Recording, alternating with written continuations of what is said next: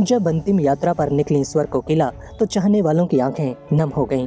उनकी एक झलक के लिए हज़ारों की भीड़ उमड़ी। सफ़ेद फूलों से सजी सेना के ट्रक में आखिरी यात्रा पर निकली लता मंगेशकर। पूरे राजकीय सम्मान के साथ देश की बेटी लता को दी आखिरी विदाई। लता मंगेशकर का पार्थिव शरीर पहले ब्रीच कैंडी अस्पताल से उनके पेडर रोड स्थित आवास लाया गया।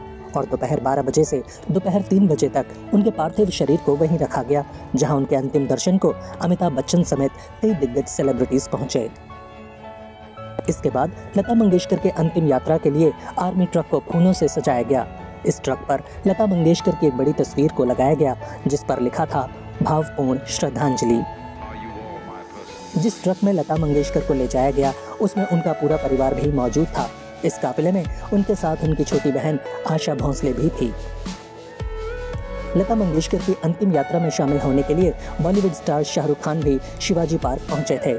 इसके अलावा सचिन तेंदुलकर, उद्धव ठाकरे, शरद पवार, राज ठाकरे, पीयूष गोयल समेत कई हस्तियाँ वहाँ मौजूद थीं। लता जी का अंतिम संस्कार शाम साढ़े छह बजे शिवाजी पार्क में किया गया। लता जी के भाई हृदयनाथ मंगेशकर के बेटे आदित्य ने उन्हें मुखाग्नि दी।